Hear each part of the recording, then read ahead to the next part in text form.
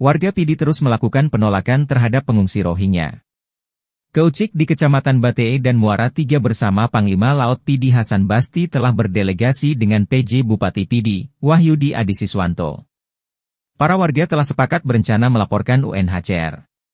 Dikutip dari Serambi News, hal itu diungkapkan oleh PJ Bupati Pidi Wahyudi Adisiswanto pada Selasa 19 Desember. Ia menuturkan bahwa kedatangan aparatur Gampong itu, guna membahas masalah Rohingya yang telah menodai Pidi sebagai kota santri. Wahyudi menegaskan bahwa warga menolak menampung Rohingya. Ia menyebutkan, warga yang datang ke pendopo adalah Keucik, Panglima Laot, tokoh pemuda.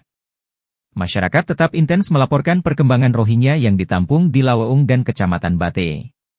Wahyudi menuturkan sebenarnya keberadaan Rohingya secara terbuka telah disampaikannya melalui siaran televisi agar Rohingya direlokasi ke tempat lain. Sehingga setelah seminggu tidak ada kepastian terhadap pengungsi Rohingya, maka Pemkap akan serahkan Rohingya kepada masyarakat. Ia juga menegaskan warga akan menggugat UNHCR karena belum memindahkan Rohingya. Selama ini, masyarakat aktif berkomunikasi terhadap Rohingya. Menurutnya, sebenarnya warga telah menyampaikan menolak menampung Rohingya. Masyarakat meminta Rohingya harus dipindahkan dari Pidi. Sebab, keberadaan Rohingya dinilai sangat merugikan warga. Download Tribun X sekarang menghadirkan lokal menjadi Indonesia.